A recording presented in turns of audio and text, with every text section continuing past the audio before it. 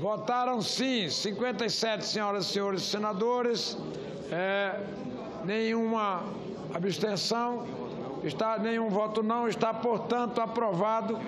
é, o primeiro turno, a matéria constará da ordem do dia oportunamente para o segundo turno constitucional, obedecido o interstício regimental.